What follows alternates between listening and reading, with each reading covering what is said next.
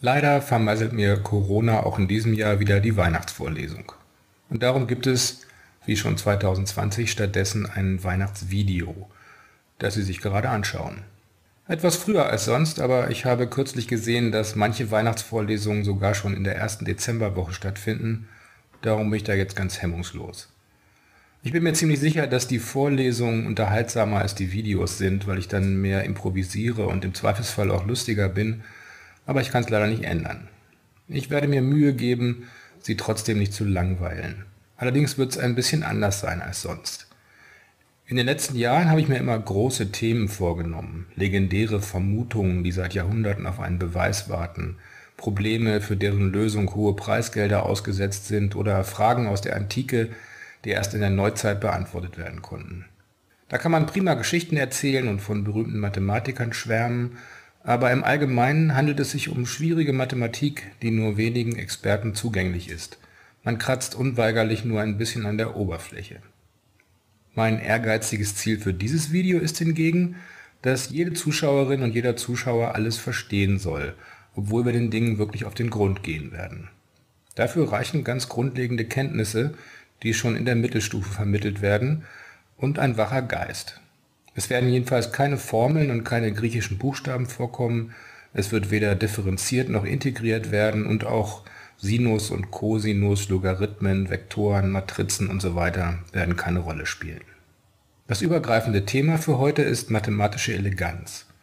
Wie ich schon öfter sagte und wie man auch an dem Zitat unten rechts sehen kann, spielen für Mathematiker Begriffe wie Ästhetik und Schönheit eine große Rolle, obwohl das für Laien oft schwer verständlich ist. In diesem Video möchte ich anhand einiger Beispiele zeigen, was man unter besonders eleganten Beweisen versteht. Weil ich den Anspruch habe, dass man das Video auch ohne spezielles Fachwissen verstehen soll, können wir natürlich nicht in die allerhöchsten Sphären vordringen. Aber das, was wir machen werden, ist auch keine banale Schulmathematik. Ich weiß, dass auch Studentinnen und Studenten der Mathematik meine Videos schauen und teilweise sogar ausgebildete Mathematikerinnen und Mathematiker. Die sollten aber nun nicht von vornherein enttäuscht sein und denken, dass das Video unter ihrem Niveau sein wird.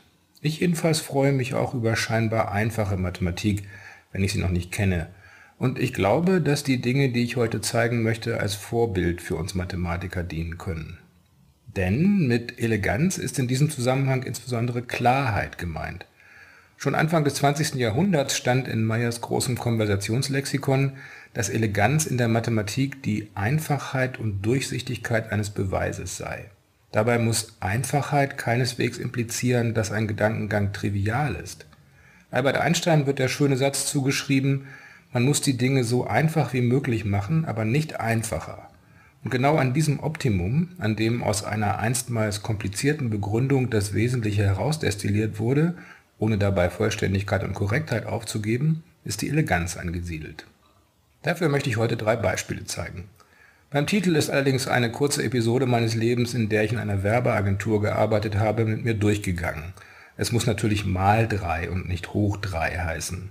Mir schien aber wohl hoch 3 eine schmissigere Überschrift zu liefern.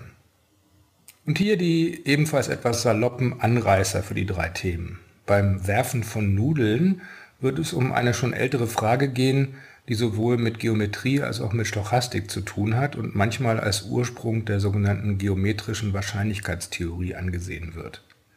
Die nachhaltigen Zeichenketten, die wir uns anschauen wollen und die man auch geizig nennen könnte, haben etwas mit Kombinatorik und Graphentheorie zu tun und sie haben enge Verwandte, die unter anderem in der Astronomie und der Informatik eingesetzt werden die bunten Dreiecke kommen eigentlich aus der Topologie und wurden erstmals vor etwa 100 Jahren von einem jungen Mathematiker verwendet, um einen bereits bekannten Satz einfacher und eleganter als vorher zu beweisen. Fangen wir mit den Nudeln an oder mit den Nadeln. Die Nudeln sind kein Tippfehler, aber eigentlich geht es um das sogenannte Nadelproblem von Buffon. Es gibt von mir bereits ein Video zu diesem Thema, aber wie so viele meiner alten Videos hat sich das kaum jemand angeschaut. Und auch wenn Sie es bereits gesehen haben, sehen Sie in den folgenden Minuten etwas Neues.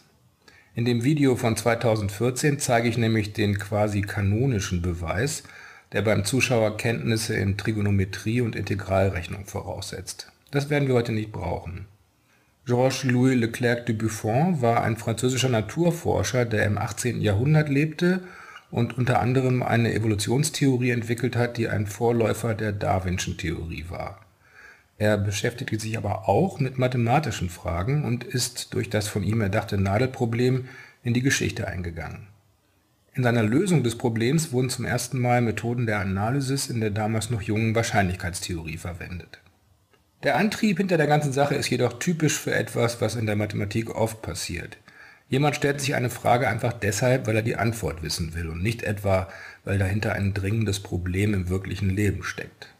Buffon stellte sich einen Parkettfußboden vor und eine Nadel, zum Beispiel eine Stricknadel, die zufällig in die Luft geworfen wird. Die Nadel kann, wie in dieser Darstellung, auf der Grenze zwischen zwei Parkettstücken landen. Oder sie kann vollständig innerhalb eines Stücks landen, ohne dass sie eine Grenzlinie berührt oder schneidet. Buffon fragte nach der Wahrscheinlichkeit dafür, dass die Nadel eine Linie schneidet. Ganz offensichtlich kein weltbewegendes Problem, aber für die meisten Mathematiker ist bei solchen Fragen nur relevant, ob sie interessant sind. Und interessant ist diese Frage schon. Moment mal, hatte ich nicht versprochen, dass man keine Vorkenntnisse braucht? Und jetzt rede ich von Zufall und Wahrscheinlichkeit? Muss man etwa doch ein Semester Stochastik auf dem Buckel haben, um dem Video folgen zu können? Nein, keine Angst.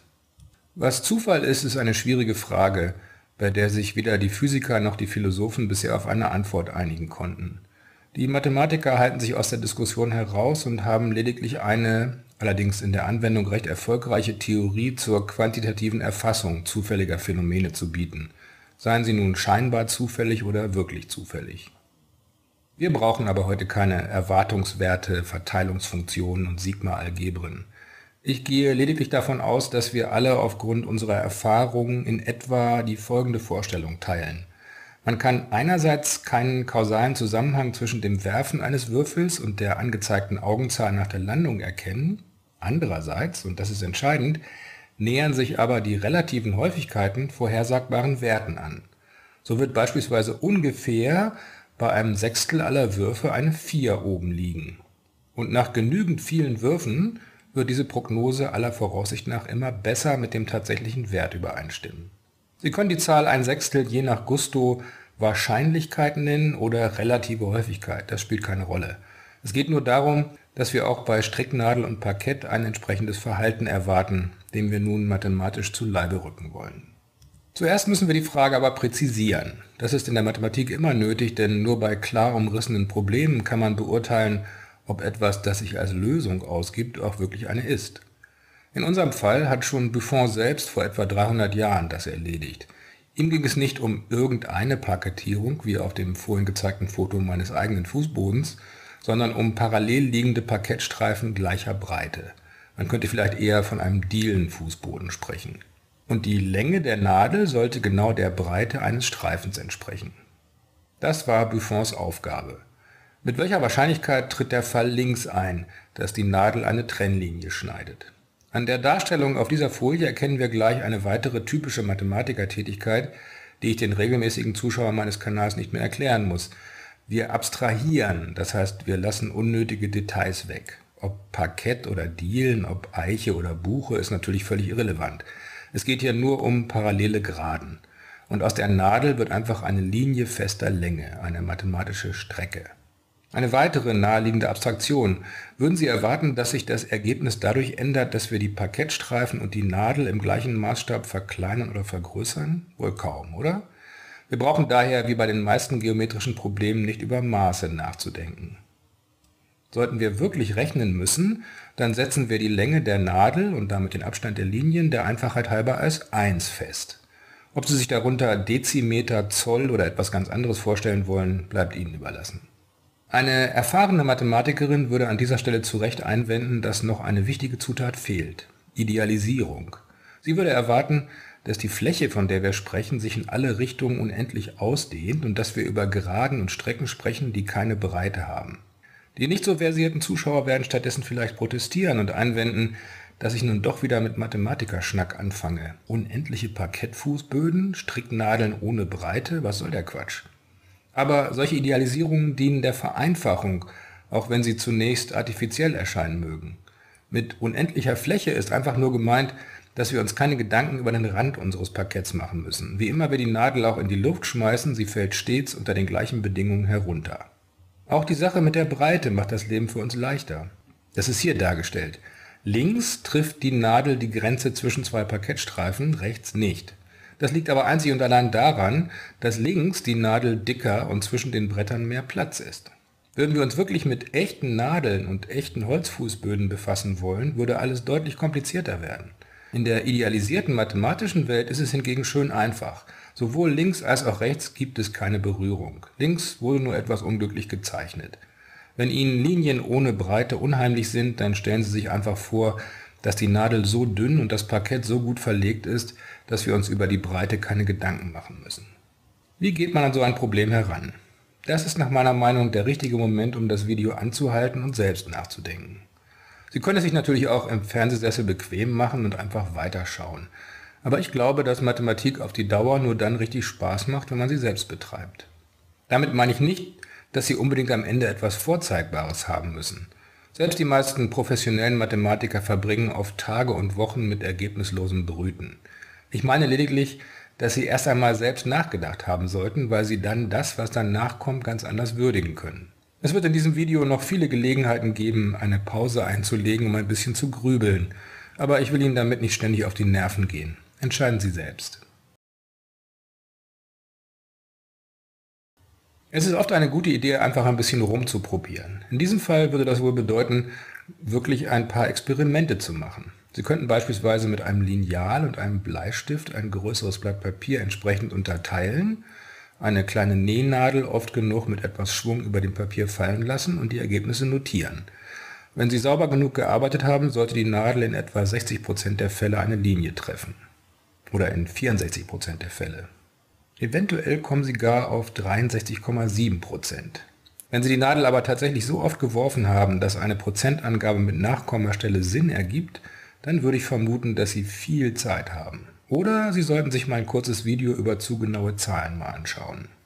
Vielleicht haben Sie wie ich die Experimente aber auch von einem Computer durchführen lassen. Wenn Sie nicht programmieren können, dann halten Sie sich jetzt kurz die Augen zu. Der Code, den ich hier zeige, tut nämlich eigentlich nichts zur Sache. Man kann das zwar mit wenigen Zeilen abhandeln, aber dafür muss man sich schon einige Gedanken darüber machen, wie man das zufällige Fallen der Nadel und das Treffen der Trennlinien überhaupt simulieren will und muss dann schon weit mehr Mathematik investieren, als ich für dieses Video voraussetzen wollte. Jedenfalls bin ich so, nachdem der Computer eine Million Mal die Nadel geworfen hatte, auf diesen Wert gekommen. Wenn Sie aus der ganzen Angelegenheit ein profitables Glücksspiel machen wollen, dann reicht das wahrscheinlich. Aber mathematisch ist es unbefriedigend. Eine Mathematikerin würde als Ergebnis keine Schätzung, sondern eine schöne Zahl erwarten, einen Wert, dem man ansehen kann, warum gerade das herauskommen muss. Ein Jahrhundert nachdem Buffon das Problem erstmals und mit Methoden, die für dieses Video zu fortgeschritten sind, gelöst hatte, löste der Franzose Joseph-Émile Barbier es erneut. Und zwar auf eine wesentlich einfachere, elegantere Art und Weise, die ich Ihnen nun zeigen möchte. Statt einer Stricknadel nahm Barbier eine Büroklammer. Natürlich nicht wirklich. Büroklammern gab es damals noch gar nicht. Aber wir stellen uns nun jedenfalls ein Stück Draht vor, das man in irgendeine Form biegen kann. Man kann daraus einfach eine gerade Strecke machen. Das wäre ein adäquater Ersatz für die Nadel, mit der wir bisher gearbeitet haben. Man kann die Strecke aber auch in der Mitte knicken und so etwas wie den Buchstaben V formen. Und man muss auch nicht in der Mitte knicken, sondern kann so etwas basteln. Oder den Buchstaben Z, wenn wir schon bei Buchstaben sind. Wir wollen uns auch nicht durch die Länge einschränken lassen. Nehmen wir etwas mehr Draht oder eine größere Büroklammer, dann haben wir vielleicht Lust, diese Figur zu kreieren. Längere Drähte sind also erlaubt, aber es spricht auch nichts gegen kürzere, so wie diesen. Und auch geschlossene Streckenzüge wie dieses Zehneck lassen wir zu. Die Figuren auf dieser Folie sind übrigens der Grund, warum der amerikanische Mathematiker Ramelay in den 60er Jahren des letzten Jahrhunderts scherzhaft vom Nudelproblem statt vom Nadelproblem sprach. Statt der ursprünglichen Stricknadel hätte man auch eine ungekochte Spaghetti-Stange nehmen können. Und mit etwas Fantasie sehen wir hier nun Fusilli, Ditaloni und Buchstabensuppe. Wie Sie sich inzwischen gedacht haben, hätten wir auch die Büroklammer selbst nehmen können. Alles, was wir uns mit Draht zurechtbiegen können, ist erlaubt, solange die Figur flach ist, also zweidimensional. Sie soll nämlich nach wie vor auf unseren imaginären Parkettfußboden geschmissen werden. So ganz ernst ist das mit den Nudeln also nicht gemeint, weil die ja selten flach sind. Aber um den hübschen Namen weiterhin zu verwenden, wäre die Frage nun, wo denn die Nudel landet. Barbier hat es allerdings so formuliert, wie oft trifft die Nudel eine Linie. Unsere Z-Nudel könnte beispielsweise so wie hier landen und an einer Stelle eine Linie schneiden. Sie könnte aber auch so auf das Parkett fallen, dass sie an gleich drei Stellen die Trennlinie berührt. Oder wie hier an zwei. Sie könnte sogar ganz glücklich so liegen bleiben, dass sie gar keine Linie trifft. Und es muss nicht nur um eine Parkettlinie gehen. Die V-förmige Nudel unten links trifft zwei verschiedene Linien. Wir würden das aber wie beim Z direkt darüber einfach als zwei Treffer zählen. Und natürlich geht es uns nicht um einen einzigen Wurf, sondern um die durchschnittliche Anzahl von Treffern bei vielen Würfen. Wenn man also etwa die Z-Nudel sehr oft wirft, werden dann im Durchschnitt eher zwei Linien getroffen oder nur eine? Wird es sich bei einem Wert wie 1,42 einpendeln? Das würde bei einem V oder einem Sechseck herauskommen. Und wie wirkt sich die Länge des Drahts auf das Ergebnis aus? Jeder halbwegs vernünftige Mensch, oder sagen wir mal jeder, der sich nicht regelmäßig mit Mathematik beschäftigt, wird an dieser Stelle wohl einwenden, dass das Problem doch jetzt viel komplizierter geworden sei. Statt einer Nadel mit fester Länge, die die Linien einmal oder gar nicht treffen kann, haben wir es nun mit beliebig geformten Nudeln beliebiger Länge zu tun, die die Linien auf alle möglichen Arten von gar nicht bis sehr oft schneiden können. Eine Mathematikerin würde Ihnen insofern recht geben, als das Problem jetzt allgemeiner als vorher ist. Sie würde aber auch eine Erfahrung erwähnen, die Sie und Ihre Kollegen schon oft gemacht haben. Durch eine Umformulierung kann aus einer schweren Frage eine leichtere werden. Es ist eine in der Mathematik oft angewandte Strategie, statt eines Problems, bei dem man nicht weiterkommt, ein anderes anzugehen und zu schauen, wohin einen das führt. Dabei kann das neue Problem eine Verallgemeinerung des ursprünglichen sein, eine Spezialisierung oder auf eine andere Art mit ihm verwandt. Es gibt da keine festen Regeln natürlich führt dieser Weg auch nicht immer zum Erfolg. Aber oft ist das der Fall und für Barbier hat es jedenfalls funktioniert. Wie löst man sein Nudelproblem? Man könnte erst einmal wieder experimentell an die Sache herangehen. Spielen Sie ruhig ein wenig selbst herum, wenn Sie wollen. Ich habe allerdings auch Verständnis für die, die keine Lust haben, stundenlang Büroklammern zu verbiegen und durch die Luft zu wirbeln. Deshalb habe ich hier ein paar exemplarische Ergebnisse für Sie. Und denken Sie jetzt nicht, ich hätte einen ganzen Nachmittag dem Drahtbiegen geopfert. Ich war sogar zu faul, ein Simulationsprogramm zu schreiben. Ich habe mir die Zahlen aus den Fingern gesogen. Aber da ich schon weiß, was herauskommt, habe ich mir realistische Werte ausgedacht. Hätten Sie also beispielsweise, siehe letzte Zeile, tausendmal die Z-Büroklammer geworfen, so wäre es gut möglich, dass Sie sich 1902 Treffer, also insgesamt 1902 Schnitte des Drahtstücks mit den Linien notiert hätten. Kann man aus dieser Tabelle bereits irgendwelche Schlüsse ziehen? Falls Sie es nicht ohnehin schon bemerkt haben, wird es vielleicht so noch deutlicher. 1000 Würfe sind immer noch eine relativ kleine Zahl und selbst bei sehr genauen Messungen muss man mit entsprechenden Abweichungen vom theoretisch zu erwartenden Wert rechnen. Meine Schätzung ist, dass man höchstens den ersten beiden Stellen der letzten Spalte trauen kann. Mehr dazu in dem bereits erwähnten Video über zu genaue Zahlen. Teilt man durch 1000 und rundet dann auf zwei signifikante Stellen, dann ergibt sich die neue Spalte ganz rechts mit der ungefähren durchschnittlichen Anzahl von Treffern. Jetzt sieht man, worauf ich hinaus will, oder? Es sieht so aus, als hinge die Anzahl der Treffer nur von der Länge des Drahtes ab, aber nicht davon, in welche Form er gebogen wurde. Wohlgemerkt, das ist bisher lediglich eine Hypothese. Mathematisch beweisen die Zahlen von der letzten Folie gar nichts. Aber solche Experimente können uns, wie jede Art von Herumprobieren, auf Ideen bringen. Allerdings müssen wir die Idee, die hier formuliert ist, noch beweisen. Für eine anschauliche Darstellung von Barbiers Beweis besorgen wir uns Hilfe aus der Insektenwelt, die wir schon in anderen Videos in Anspruch genommen haben. Stellen Sie sich vor, dass wir auf den Draht zwei Ameisen gesetzt haben. Auf jedes Streckenstück eine. Jede Ameise ist für ihr Streckenstück verantwortlich. Nachdem die ganze Apparatur auf dem Parkett gelandet ist, läuft jede Ameise ihr Streckenstück ab und berichtet dann, wie viele Parkettlinien sie auf ihrem Weg überschritten hat. Wir zählen die beiden Zahlen zusammen und erhalten so die Gesamtanzahl der Treffer. Jetzt versuchen Sie aber mal, das alles aus Sicht der Ameisen zu sehen, die wir uns als ziemlich beschränkte kleine Tierchen vorstellen. Jede Ameise kennt nur ihr Streckenstück und kümmert sich nicht um den Rest. Sie weiß nicht einmal, dass es noch andere Stücke gibt. Das würde sie überfordern. Aus ihrer Sicht landet ihr Stück zufällig auf dem Fußboden und sie zählt die Treffer. Das ist alles. Und das ist auch schon alles. Machen Sie sich klar, denn das ist die zentrale Aussage, dass wir die beiden Teile ebenso gut einzeln hätten fallen lassen können. Jede Hälfte für sich muss sich wie ein zufällig fallendes Streckenstück verhalten. Natürlich wissen wir die Lage der rechten Hälfte, wenn wir die Lage der linken wissen und umgekehrt, die beiden sind ja verbunden. Aber wenn wir immer nur notieren würden, was eine der beiden Ameisen uns über ihre Hälfte berichtet, dann muss dasselbe herauskommen wie bei einem einzelnen geraden Stück derselben Länge. Es gibt keinen Grund anzunehmen, dass sich eine Hälfte des V-förmigen Drahtes anders verhält, weil an ihr noch etwas hängt. Nun denken Sie sich noch jemanden dazu, der nur notiert, was die andere Ameise sagt. Auch seine Daten müssen denen eines einzelnen geraden Stücks entsprechen. Und die Summe der beiden Datenreihen ergibt die Trefferzahl für das v. Mit derselben Begründung könnten wir das v zu einem geraden Stück biegen und den Job des Trefferzählens zwei Ameisen übertragen, die jeweils für eine Hälfte zuständig sind. Da muss auch dasselbe rauskommen. Schließlich funktioniert die Begründung auch dann noch, wenn wir mehr als zwei Teile haben oder wenn die Teile nicht dieselbe Länge haben. Wir halten also fest, dass unsere Hypothese richtig war und dass die durchschnittliche Anzahl der Treffer nur von der Länge des Drahtstücks und nicht von seiner Form abhängt. Derselbe elegante Gedankengang beantwortet quasi nebenbei auch gleich die Frage, wie die Trefferzahl von der Länge abhängt.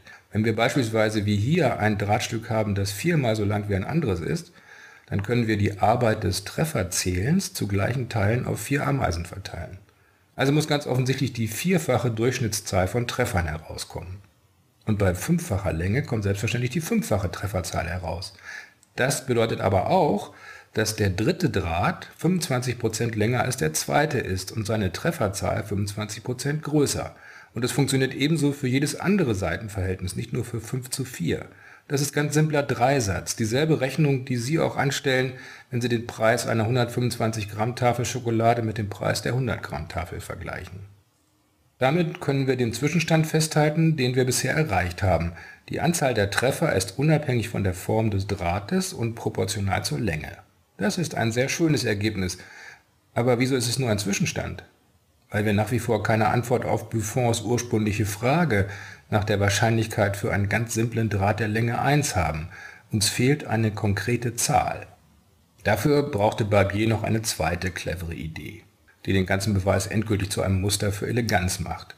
Vielleicht haben Sie sich gerade gefragt, wieso wir uns vorhin Gedanken über seltsam geformte Nudeln gemacht haben, wenn wir am Ende doch wieder nur über Nadeln unterschiedlicher Länge sprechen.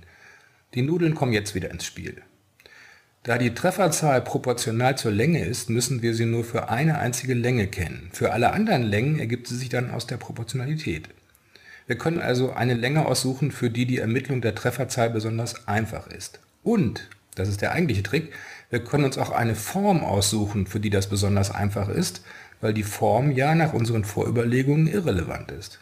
Was meinen Sie, welche Form es sein wird? Ein Kreis. Spätestens dann, wenn man die Lösung sieht, ist es einleuchtend, weil Kreise die einfachsten und regelmäßigsten geometrischen Figuren sind. Wenn wir einen Kreis wählen, dessen Durchmesser genau 1 ist, was dem Abstand zweier Trennlinien entspricht, dann wird dieser Kreis immer genau zwei Schnittpunkte mit den Trennlinien haben, wie die beiden gezeigten Beispiele demonstrieren. Das gilt sogar für den Extremfall, dass der Kreis exakt in der Mitte eines Streifens landet.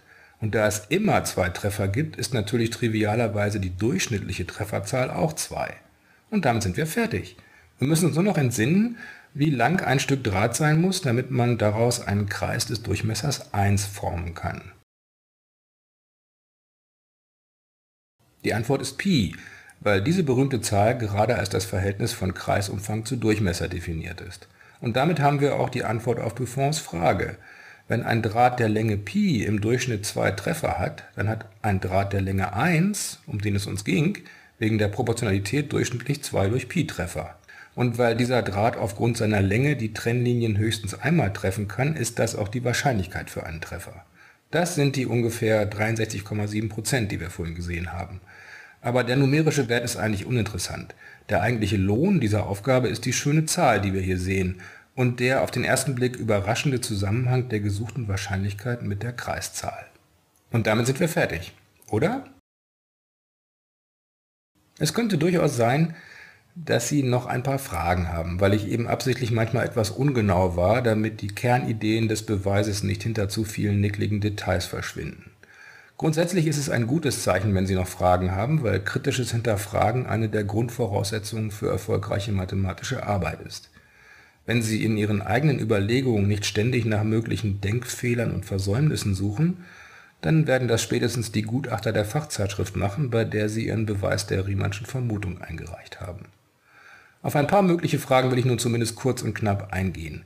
Dabei wird es für einige Minütchen vielleicht ein bisschen anspruchsvoller als im Rest des Videos und ich werde ein, zwei Wörter Fachchinesisch einflechten. Wenn es Ihnen zu viel wird, können Sie ja mit der Kapiteleinteilung am unteren Rand des Videos zum nächsten eleganten Beweis springen. Ich erwarte, dass es bei den meisten Fragen um Grenzfälle wie diesen hier gehen wird. Was berichten die Ameisen, wenn ein V-förmiger Draht genau mit dem Knick auf einer Trennlinie landet? Das ist leicht zu beantworten. Es gibt einen Treffer und nicht etwa zwei, denn wir gehen natürlich davon aus, dass jeder Punkt des Drahtes nur genau einer Ameise zugeteilt ist. Entweder ist Ameise 1 für den Knick zuständig oder Ameise 2, aber nicht beide. Fachbegriff, wir partitionieren die Menge der Punkte des Drahtes. Und wie viele Treffer gibt es, wenn die Originalnadel von Buffon, deren Länge der Breite der Parkettstreifen entspricht, exakt rechtwinklig zwischen zwei Trennlinien landet? Auch in diesem Fall gibt es nur einen Treffer, entweder den linken oder den rechten Punkt. Der entsprechende Fachbegriff ist in diesem Fall, dass wir uns die Nadel bzw. den Draht als halboffenes Intervall vorstellen. Damit ist auch gleich geklärt, dass durch die eben erwähnte Partitionierung der Draht gerecht zwischen den beiden Ameisen aufgeteilt wird. Falls Ihnen diese beiden Antworten wie billige Ausflüchte vorkamen, es gibt noch eine bessere Antwort und die muss man spätestens bei einer Frage wie dieser geben. Wie werden die Treffer gezielt, wenn ein Teil des Drahtes längs auf einer Trennlinie liegt? Jetzt haben Draht und Trennlinie selbst als idealisierte geometrische Objekte doch unendlich viele gemeinsame Punkte, oder? Die Antwort, und die hätte man wie gesagt schon bei den beiden Fällen vorher verwenden können, ist, dass dieser Fall nicht eintritt. Oder genauer, die Wahrscheinlichkeit dafür, dass das passiert, ist null. Im Fachjargon sagt man auch, dass so ein Ereignis fast unmöglich ist. Es ist nicht völlig unmöglich, aber es spielt für die Ermittlung des Wertes, der uns eigentlich interessiert und der rein technisch ein Erwartungswert ist, keine Rolle und kann daher ignoriert werden. Das ist, wenn man wenig Erfahrung mit Stochastik hat, etwas schwer zu schlucken und ich kann das nicht in zwei Sätzen erschöpfend erklären. Ich will es aber mit einer Analogie versuchen. Damit dieser Fall eintritt, muss der mittlere Teil des Drahtes einen ganz bestimmten Winkel haben. Wenn Sie Winkel auf Hundertstel Grad genau messen können, dann gibt es 18.000 verschiedene mögliche Winkel für den Draht. Alle müssen die gleiche Wahrscheinlichkeit haben und nur einer von denen führt zu diesem Fall. Aber Sie könnten sich ebenso gut vorstellen, dass Sie mit einer Genauigkeit von einem Tausendstel Grad oder noch genauer messen können. Je genauer Sie quasi hinschauen, desto unwahrscheinlicher wird es, dass der Draht wirklich exakt auf der Trennlinie liegt. Und in der idealisierten Welt der Mathematik können Sie beliebig genau messen. Da bleibt dann nur die Wahrscheinlichkeit 0. Eine tatsächliche Lücke in meiner Darstellung des Beweises ist der Kreis, den ich am Ende aus dem Hut zaubere. Durften wir den überhaupt verwenden? Eigentlich nicht. Dass die durchschnittliche Trefferzahl unabhängig von der Form und proportional zur Länge ist, hatte ich nämlich mit Hilfe der Ameisen nur für Formen begründet, die aus geraden Stücken bestehen. Das gilt für ein V oder für ein Z und auch für eine Zickzacklinie und kompliziertere Figuren, aber nicht für einen Kreis. Wie kann man das retten? Man legt regelmäßige Vielecke passend in den Kreis und um den Kreis. Für diese Vielecke ist die Trefferzahl proportional zur Länge.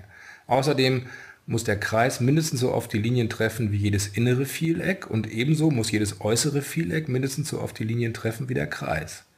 Der Rest ist nun ein einfaches Grenzwertargument, man erhöht die Anzahl der Ecken, wodurch sich die Vielecke dem Kreis immer enger anschmiegen. Ich will das aber gar nicht weiter ausführen. Wenn Sie sich diese Frage gestellt haben, dann können Sie sie mit dieser Hilfestellung wohl auch selbst beantworten. Es gibt noch eine weitere Grenzwertbetrachtung, die ich absichtlich ausgelassen habe und die ich Ihnen auch als eine Art Hausaufgabe überlasse.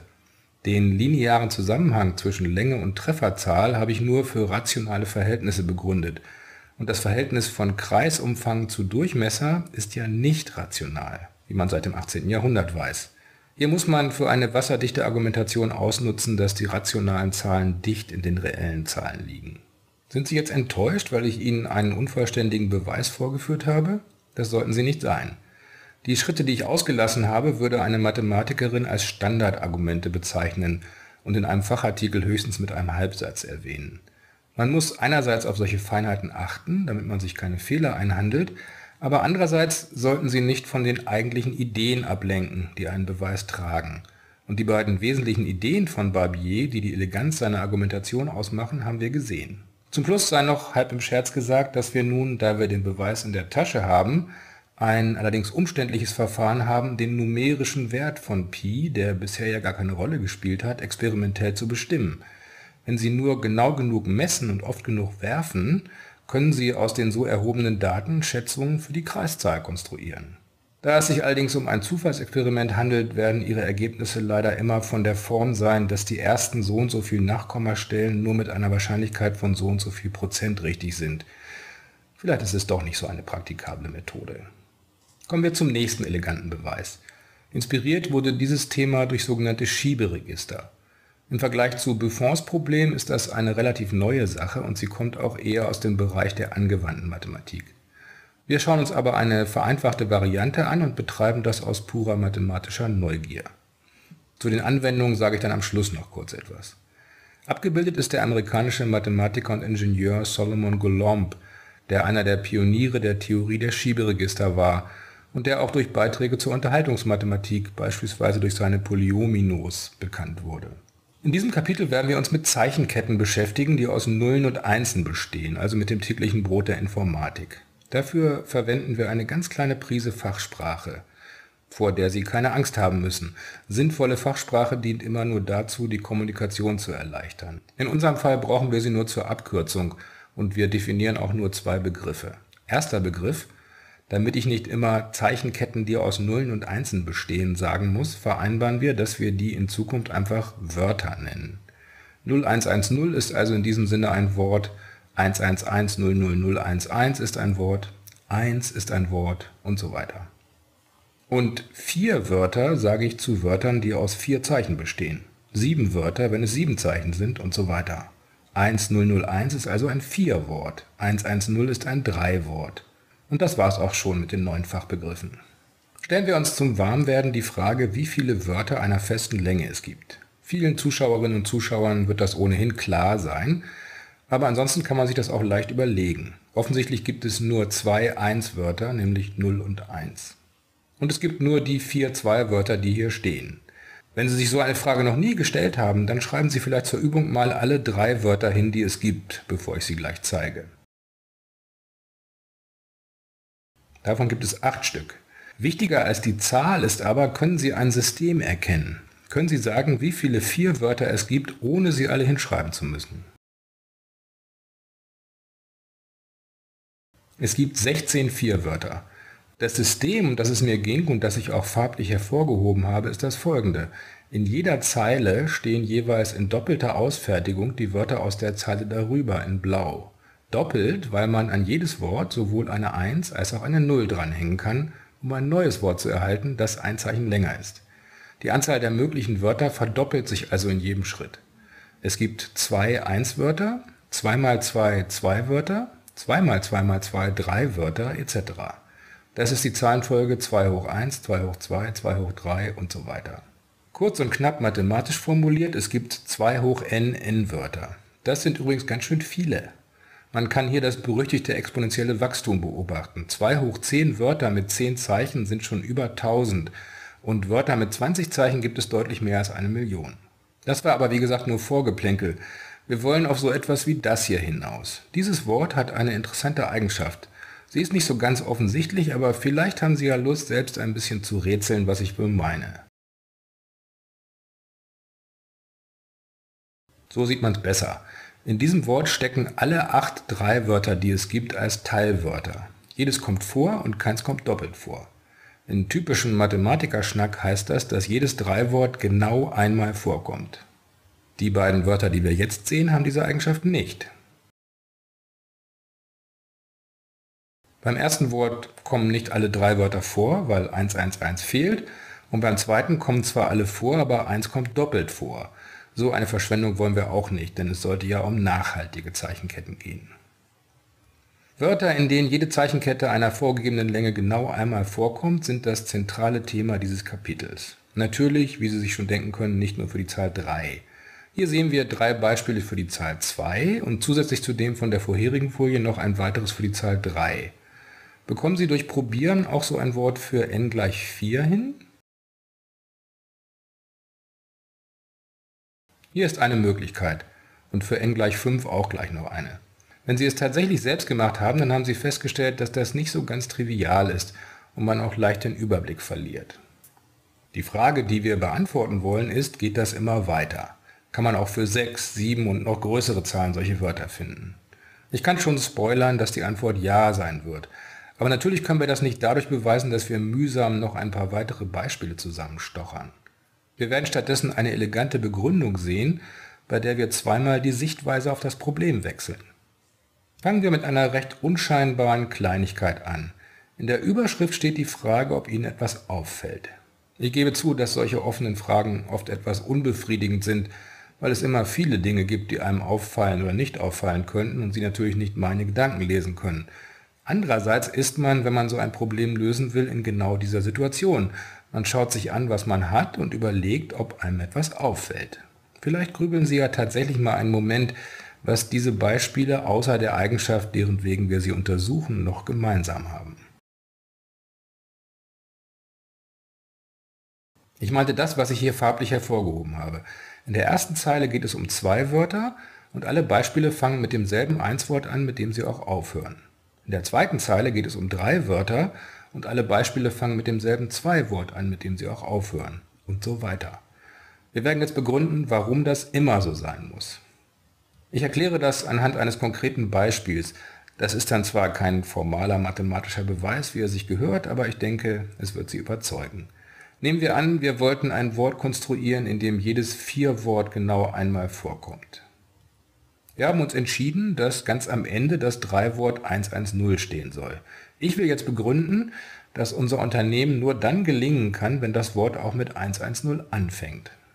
Weil unser Wort alle vier Wörter enthalten muss, muss es insbesondere die beiden vier Wörter 110 und 1101 enthalten. Das sind die beiden vier Wörter, die mit 110 anfangen. Diese beiden Wörter habe ich einfach mal irgendwo platziert und zwar an den Positionen 3 und 12. Beachten Sie, dass die beiden Wörter erstens natürlich an zwei verschiedenen Stellen stehen müssen, weil es ja zwei verschiedene Wörter sind, und dass sie zweitens vor der Position 17 anfangen müssen, weil ab dieser Position nicht mehr genügend Platz für ein Vierwort ist. Damit haben wir nun insgesamt drei Positionen, an denen das Dreiwort 110 steht, die beiden, die ich gerade gewählt habe, und das Dreiwort ganz am Ende. Vor diesen drei Positionen muss jedoch auch jeweils ein Zeichen stehen, also da, wo jetzt die Fragezeichen sind. Es sind aber drei Fragezeichen und es gibt nur zwei Zeichen, nämlich 0 und 1. Wie wir es auch machen, ein Zeichen wird es doppelt geben. Und damit kommt entweder das Vierwort 0110 oder das Vierwort 1110 doppelt vor. Das ist jedoch nicht erlaubt, weil jedes Vierwort nur einmal auftreten soll. Es gibt nur eine Möglichkeit, diesem Dilemma zu entkommen. Wir platzieren den linken blauen Block so, dass er auf Position 1 ganz links anfängt, weil dann vor ihm keine Stelle mehr frei ist, an der ein Fragezeichen stehen könnte. Und das ist genau das, was ich Ihnen zeigen wollte. Es kann nur klappen, wenn ganz am Anfang dasselbe Dreiwort wie am Ende steht. Mit dieser Einsicht werden wir nun wie angekündigt zum ersten Mal den Blickwinkel wechseln. Dadurch, dass wir das Problem aus einer anderen Warte betrachten, wird es einfacher werden. Auch das ein häufiges Erlebnis, wenn man sich mit mathematischen Fragen beschäftigt. Hier sehen wir ein Beispiel für ein Wort, in dem alle vier Wörter genau einmal vorkommen. Wie wir auf der letzten Folie begründet haben, stimmen die drei Wörter am Anfang und am Ende überein. Die clevere Idee ist nun, die Zeichenkette so zu verbiegen, dass man diese beiden identischen Stücke quasi aufeinander kleben kann. Dadurch erhält man eine kreisförmige Anordnung, in der die blau hervorgehobenen redundanten Zeichen nur noch einmal vorkommen. Wenn Sie nun bei der blauen 1 rechts unten anfangen und im Uhrzeigersinn um den Kreis wandern, können Sie das ursprüngliche Wort rekonstruieren. Das Entfernen der überflüssigen drei Zeichen hat auch den angenehmen Nebeneffekt, dass die Anzahl der Zeichen nun der Anzahl der vier Wörter entspricht. Das Wort, von dem wir ausgegangen sind, bestand aus 19 Zeichen. Im Kreis unten stehen aber nur noch 16 also genau 2 hoch 4. Bevor wir weitermachen, möchte ich jedoch noch zwei Kommentare loswerden. Erstens kann man die Idee, die Wörter im Kreis anzuordnen, vielleicht nicht gerade als genial, aber doch als clever bezeichnen. Das würde ich auch über die Ideen von Barbier aus dem vorherigen Beweis sagen. Wenn man so eine Idee erst einmal verstanden hat, ist man aber oft geneigt, sie als vergleichsweise banal abzutun. Ich würde sie allerdings nicht so herabwürdigen. Nach meiner Erfahrung zeichnen sich gerade die besonders guten und fruchtbaren Ideen dadurch aus, dass sie ganz einfach erscheinen und man durch sie das genießen kann, was Poincaré als Freude des Verstehens bezeichnet hat. Das ändert aber nichts daran, dass jemand diese Idee erst einmal haben musste. Und das führt gleich zu meiner zweiten Bemerkung. Studierende fragen manchmal, wie man denn auf so etwas kommen solle. Dahinter steckt oft der Wunsch, ein mechanisch abzuarbeitendes Lösungsverfahren präsentiert zu bekommen, wie man es aus der Schule kennt. Richtige Mathematik funktioniert aber nicht so. Richtige Mathematik erfordert Kreativität und auch Geduld. Routine und Erfahrung sind sicher hilfreich, aber es gibt nicht die eine Methode, mit der man Schritt für Schritt jedes mathematische Problem löst. Wie schon Euklid vor fast 2500 Jahren sagte, gibt es keinen Königsweg zur Mathematik. Ein bisschen mehr dazu in den Literaturhinweisen am Ende des Videos. Wir werden uns jedenfalls ab jetzt darauf konzentrieren, solche Kreise zu finden, in denen jedes Vier-Wort oder allgemeiner jedes N-Wort genau einmal vorkommt. Das wird unsere Aufgabe erleichtern. Als erstes bemerken wir durch diese Darstellung, dass die drei Zeichen an der Klebestelle gar keine besondere Rolle spielten. Wir können jede Stelle im Kreis als Anfang wählen und erhalten immer der Reihe nach alle vier Wörter. Außerdem ist es auch egal, ob wir im Uhrzeigersinn oder gegen den Uhrzeigersinn um den Kreis laufen. Eine Mathematikerin würde sagen, dass wir dadurch Symmetrien in der Aufgabenstellung erkannt haben. Das ist immer hilfreich. Wir lesen jetzt im Uhrzeigersinn und greifen uns zwei aufeinanderfolgende vier Wörter heraus, die durch die blauen Pfeile angezeigt werden. Es sind 1001 und 0011. Weil ein Wort direkt hinter dem anderen steht, müssen die beiden sich überlappen. Sie teilen sich das Dreiwort 001 in ihrer Mitte. Man könnte auch sagen, dass 001 das Verbindungsglied zwischen den beiden Vierwörtern ist. Wir drehen nun jedoch den Spieß um und betrachten die drei Wörter auf dem Kreis. An jeder der 16 Positionen fängt ein Vierwort an, aber an jeder der 16 Positionen fängt auch ein Dreiwort an. Die sind zwar nicht wie die vier Wörter alle verschieden, aber das macht nichts. Schauen wir uns die beiden ebenfalls direkt aufeinanderfolgenden drei Wörter 100 und 001 an, wieder durch Pfeile hervorgehoben. Die beiden zusammen bilden ein Vierwort, nämlich 1001. Das Dreiwort 100 ist der Anfang und das Dreiwort 001 ist das Ende.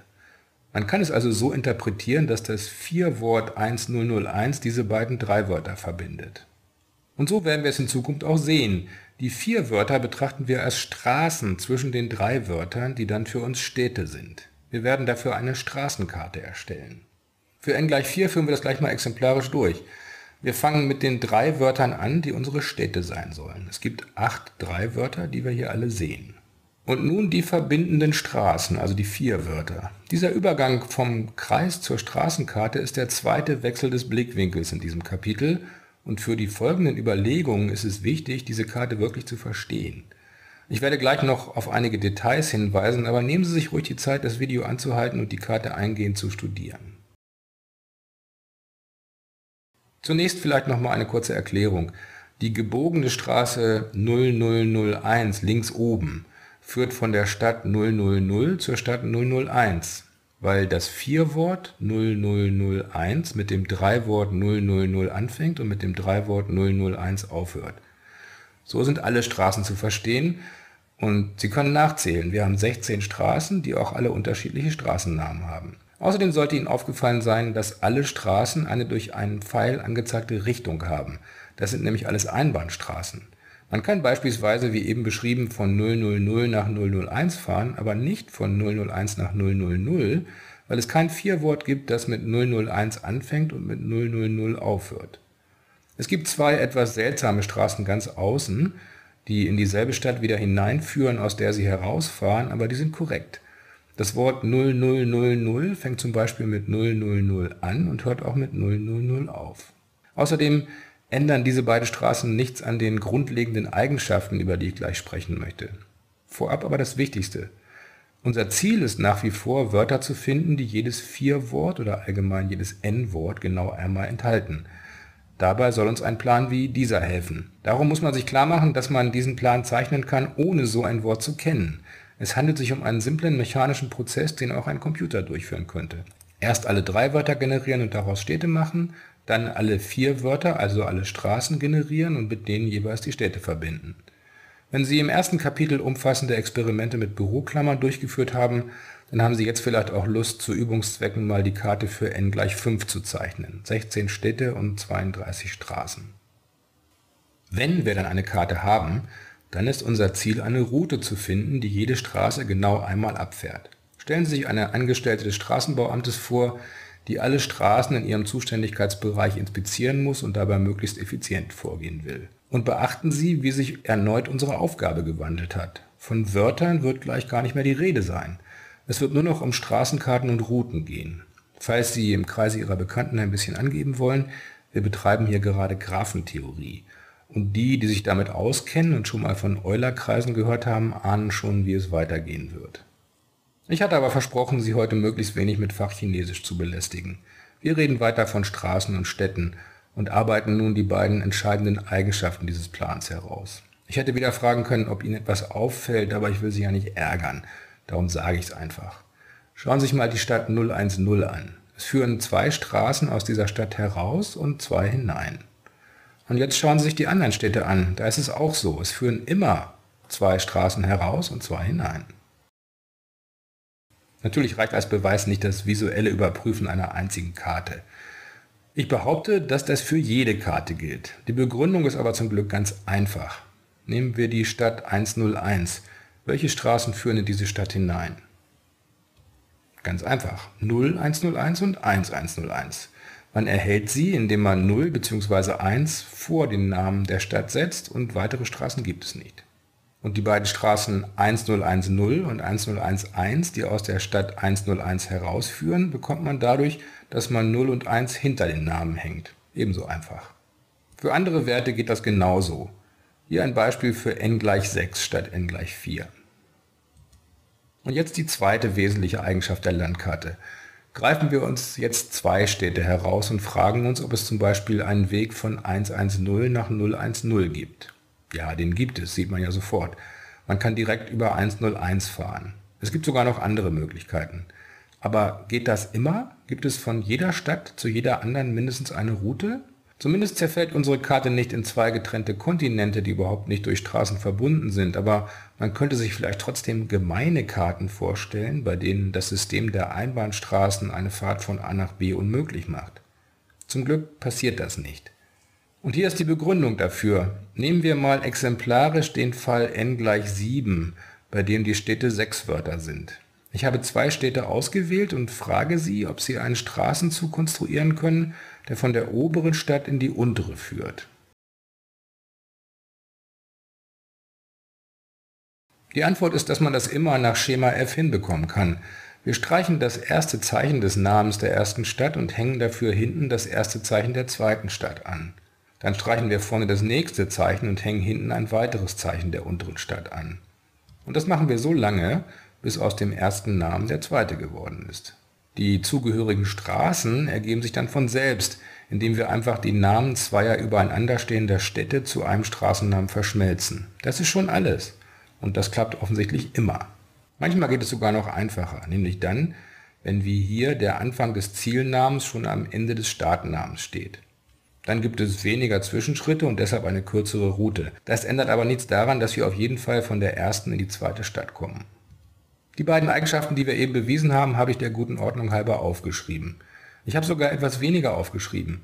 Wir wissen, dass jede Stadt zwei Zufahrten und zwei Ausfahrten hat. Es reicht aber für unsere Zwecke, dass in jeder Stadt die Anzahl der Zufahrten mit der Anzahl der Ausfahrten identisch ist. Und ich behaupte jetzt, dass es für jeden Straßenplan, der diese beiden Bedingungen erfüllt, eine Tour gibt, die jede Straße genau einmal abfährt sodass unsere Straßenbaumeisterin von vorhin nicht zu viel fahren muss, aber trotzdem alle Straßen inspizieren kann. Wenn wir das noch begründen können, dann sind wir fertig, weil das dann ja insbesondere für die Pläne gilt, die aus unserer ursprünglichen Frage entstanden sind. Hier ist so ein Plan. Wie ich schon angekündigt hatte, können wir uns das Beschriften der Städte und Straßen sparen. Es reicht, wenn wir den Plan selbst haben. Und ich habe absichtlich nicht einen Plan genommen, der wie der vorherige aus Wörtern entstanden ist, sondern einen krummen und schiefen, der aber die beiden auf der letzten Folie genannten Eigenschaften hat. Sie sollten das vielleicht überprüfen und mir nicht einfach glauben. Ich mache gerne und oft Flüchtigkeitsfehler. Nun basteln wir uns eine Tour zusammen. Wir wählen ganz nach Belieben eine Stadt aus, in der wir losfahren wollen und markieren sie durch einen Stern. Dann fahren wir von dort in eine andere Stadt und von dort in die nächste. Einzige Bedingung ist, dass wir keine Straße wählen, über die wir schon gefahren sind. Und so machen wir weiter, bis wir wieder am Start angelangt sind. Wenn Sie genügend mathematische Skepsis in sich tragen, dann haben Sie sich an dieser Stelle geräuspert und gefragt, ob das denn klappt. Woher wissen wir denn, dass wir wieder zum Start zurückkommen? Könnte es nicht sein, dass wir vorher schon stecken bleiben, weil alle Straßen, die wir erreichen können, bereits befahren sind? Nein. Der Grund ist ganz einfach. In jede Stadt führen genau so viele Straßen hinein, wie auch aus ihr herausführen. Wenn wir durch eine Stadt durchgefahren sind, gibt es danach eine Zufahrt und eine Ausfahrt weniger. Entweder kommt man danach noch hinein und dann auch wieder heraus, oder man kommt gar nicht mehr hinein. Die einzige Stadt, die nach Beginn der Tour sozusagen eine Einfahrt zu viel hat, ist der Startort, und darum kann die Tour auch nur dort enden. Okay, so weit, so gut. Aber wie man an unserem Beispiel sieht, muss eine so erstellte Tour nicht notwendig über alle Straßen führen, und das war ja unser Ziel. Was nun? Wir wählen uns auf unserer Tour eine Stadt, von der aus eine noch unbefahrene Straße ausgeht. Ich habe eine solche Stadt mit einem Pluszeichen markiert. Und von da aus machen wir nun genauso eine Spritztour wie eben, die zurück zum Pluszeichen führt. Dabei verwenden wir natürlich ausschließlich Straßen, die bisher noch nicht befahren wurden.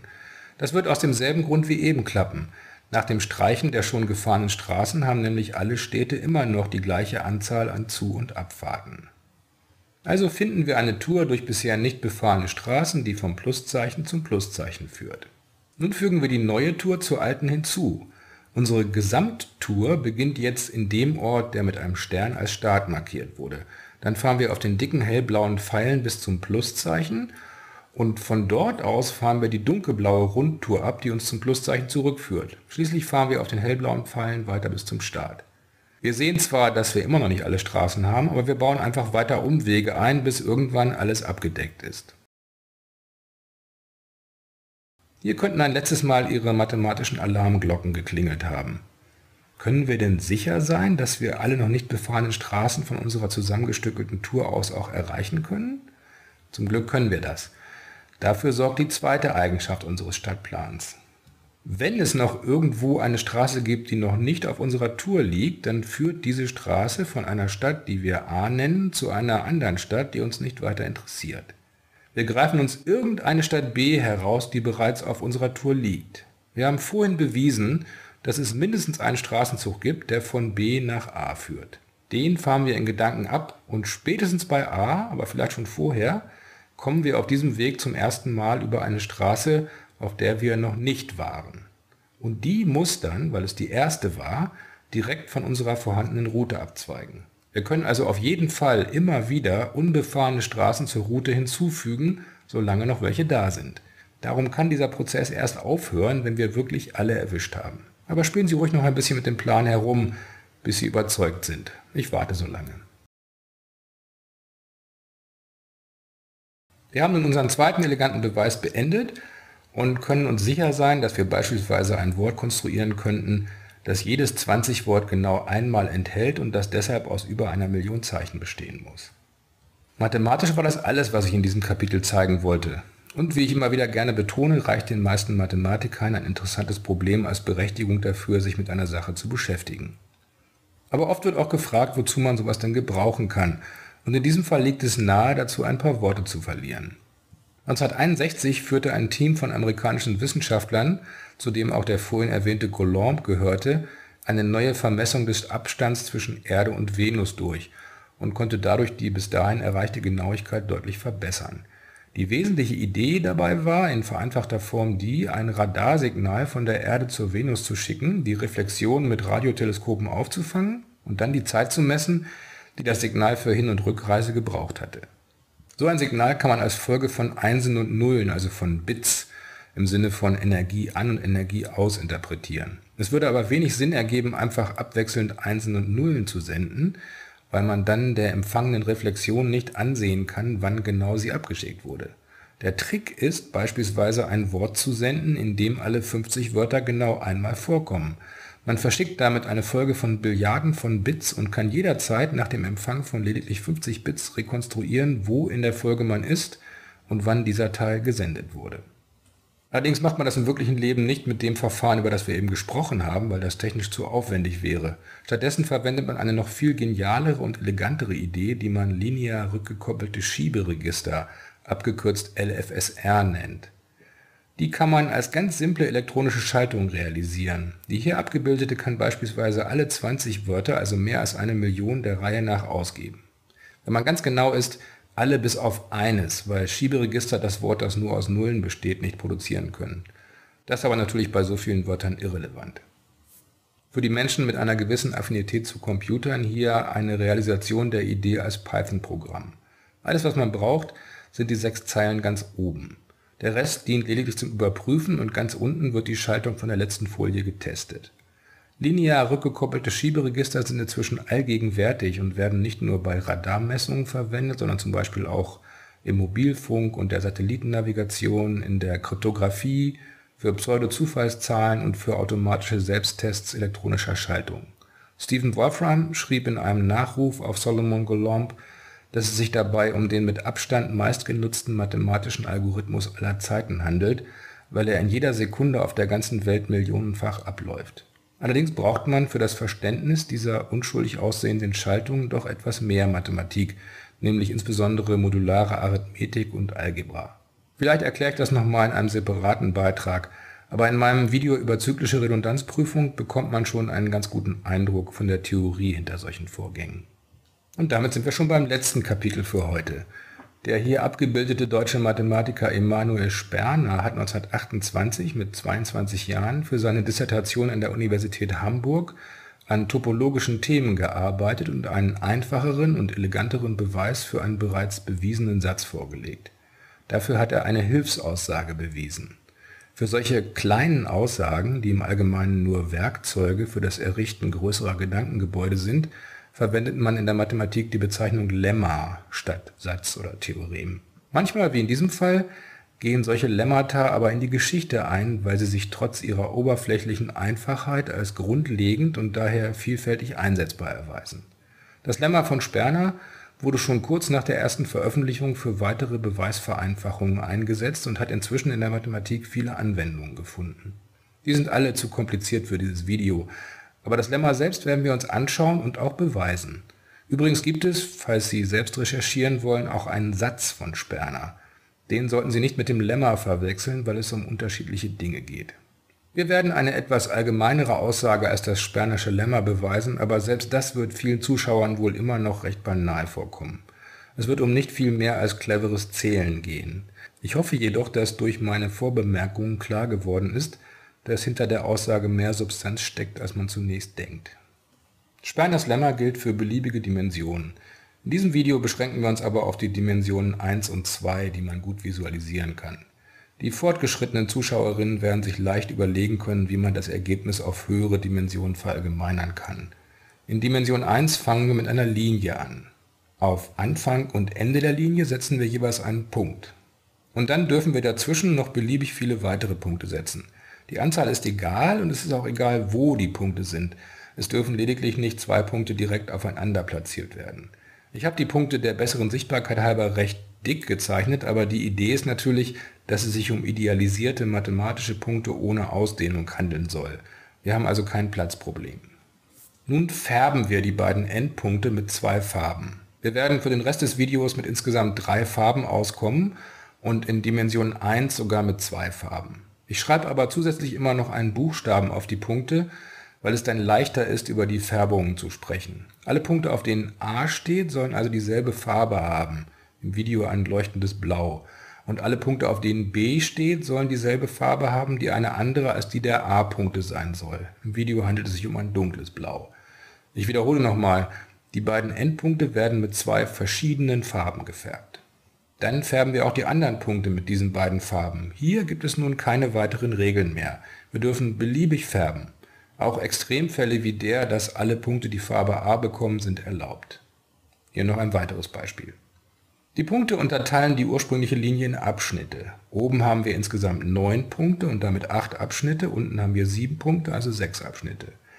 Abschnitte, die von Punkten mit unterschiedlichen Farben begrenzt werden, nennen wir bunte Abschnitte. Die sind auf dieser Folie durch eine Zickzacklinie hervorgehoben. Oben gibt es fünf bunte Abschnitte, unten drei.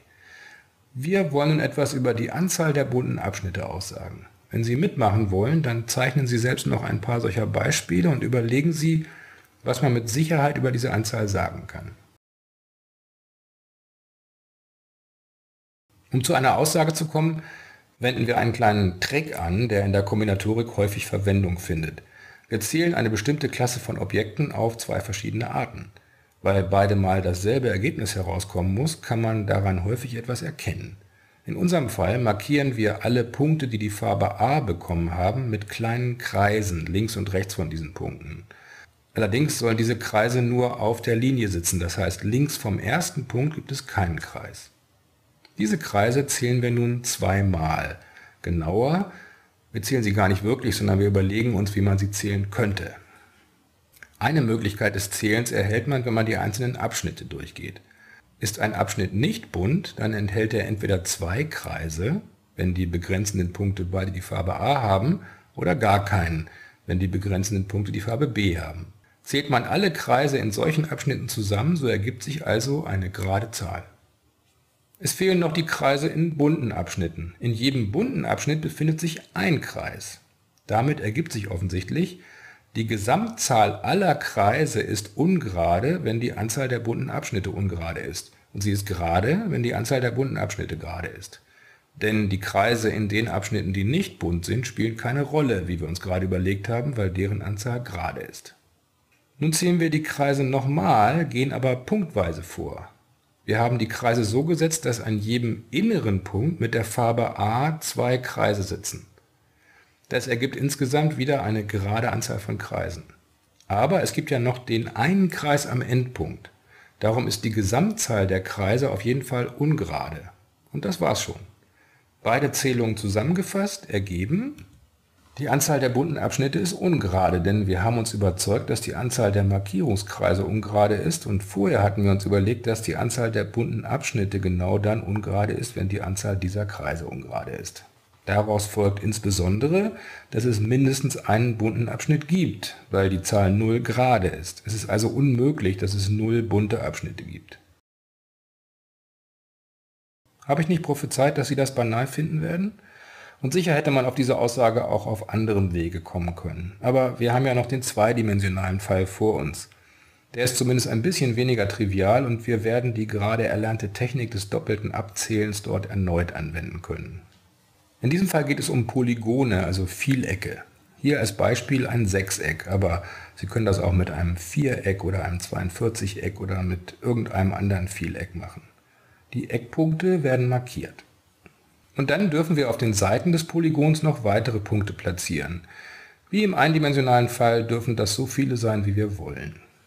Schließlich kommen noch Punkte ins Innere. Da gibt es ebenfalls für Anzahl und Position keinerlei Vorschriften. Nun werden die Punkte mit Linien verbunden. Das können zwei Punkte auf den Seiten sein, wie in diesem Beispiel, oder zwei Punkte im Innern, so wie hier, oder wir verbinden einen Punkt auf einer Seite mit einem Punkt im Innern. Auch hier sind wir völlig frei bis auf die einzige Regel, dass sich solche Linien nicht schneiden dürfen. Das machen wir so lange, bis man keine Linien mehr ziehen kann. Probieren Sie es ruhig mal aus. Sie werden feststellen, dass Sie am Ende die vom Polygon umschlossene Fläche in lauter Dreiecke unterteilt haben. Und wenn Sie Lust haben, dann beweisen Sie nebenbei, dass dieser Prozess wirklich immer mit einem Dreiecksnetz terminiert. Im folgenden Schritt werden die Punkte gefärbt. Wir fangen an mit den Eckpunkten des ursprünglichen Polygons, die wir beliebig färben dürfen. Dafür haben wir nun drei Farben zur Verfügung, die ich A, B und C nennen werde. Als nächstes werden die Punkte auf den Seiten des Polygons gefärbt. Hier gibt es nur eine Regel. Die beiden Eckpunkte an den Enden einer Seite geben die erlaubten Farben vor. Beispielsweise sind auf der oberen Seite, die nahezu horizontal verläuft, nur die Farben A und C zugelassen. Weitere Regeln gibt es aber nicht. Zum Schluss werden die inneren Punkte ohne weitere Einschränkungen gefärbt. Alle Farben sind erlaubt. Uns interessieren jetzt die bunten Dreiecke. Damit sind die gemeint, deren drei Ecken drei verschiedene Farben haben. Die bunten Dreiecke im Beispiel sind durch eine graue Füllung hervorgehoben. Beweisen wollen wir nun eine Aussage über die Anzahl der bunten Dreiecke, genauer über die Parität dieser Anzahl, also darüber, unter welchen Bedingungen wir es mit einer geraden oder einer ungeraden Zahl von bunten Dreiecken zu tun haben. Wenn Sie Lust haben, das selbst herauszubekommen, dann sollten Sie jetzt eine Pause einlegen und vielleicht erst einmal damit anfangen, ein paar eigene Beispiele zu zeichnen.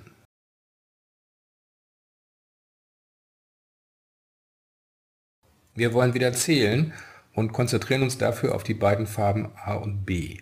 Neben alle Linien, die von einem A zu einem B-Punkt führen, setzen wir links und rechts je einen Markierungspunkt, wenn es Linien sind, die im Innern des Polygons verlaufen.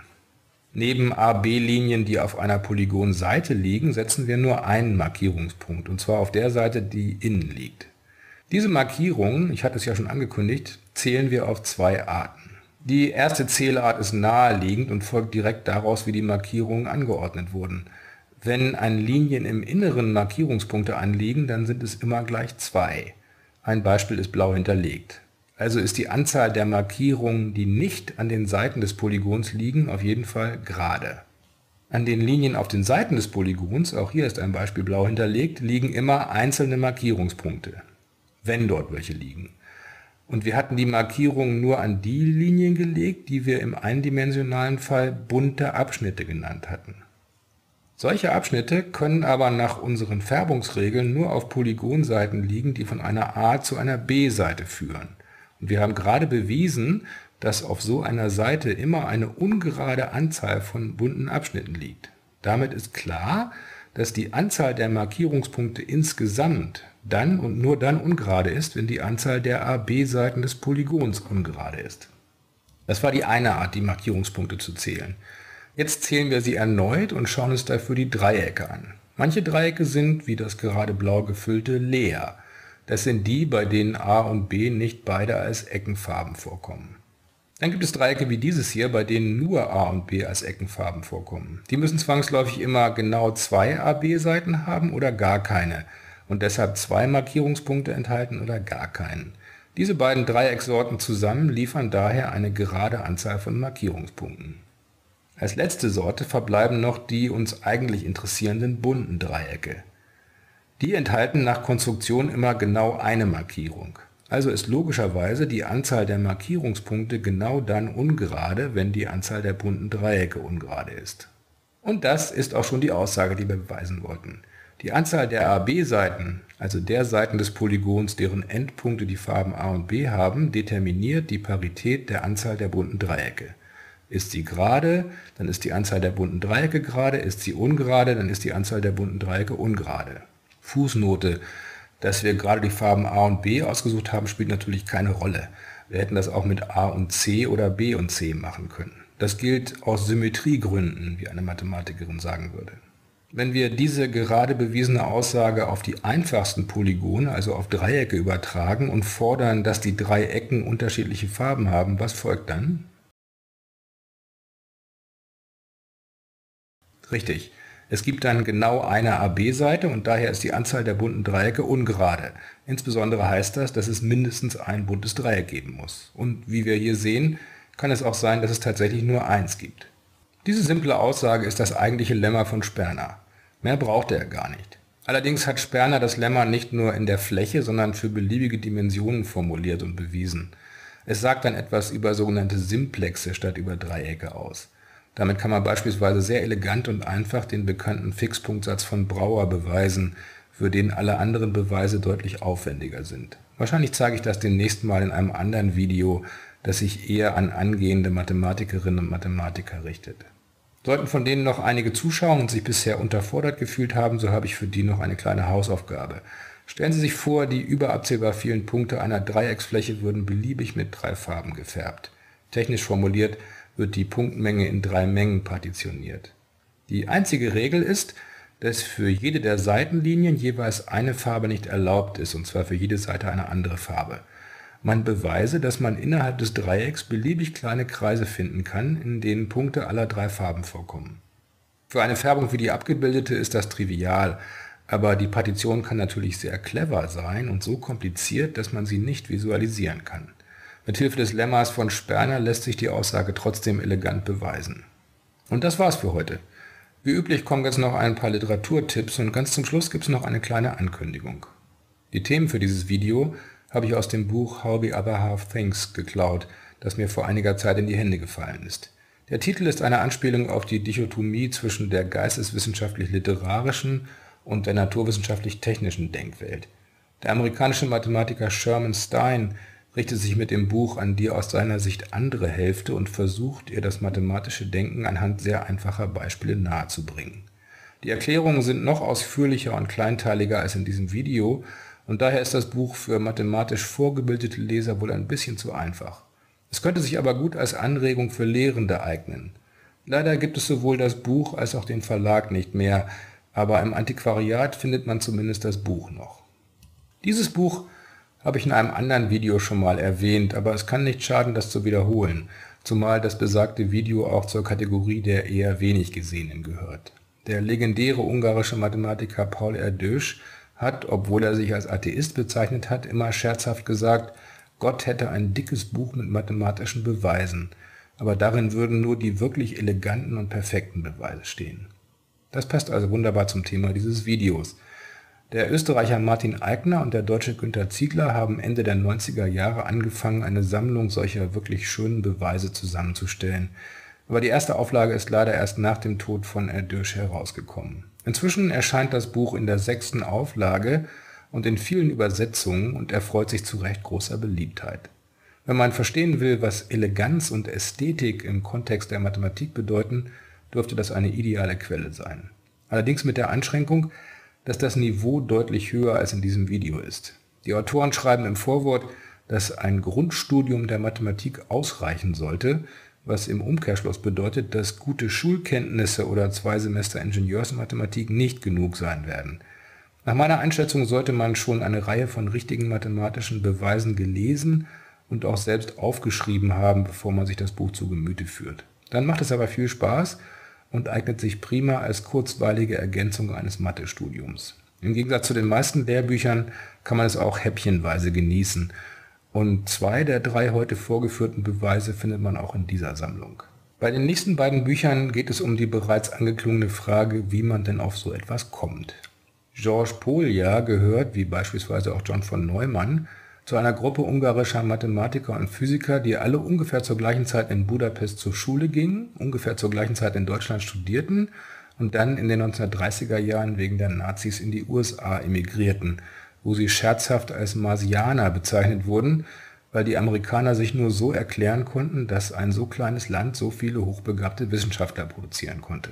Polja hat sich unter anderem auch eingehend mit der Vermittlung und Charakterisierung von mathematischen Problemlösestrategien beschäftigt und war in dieser Hinsicht ein Pionier.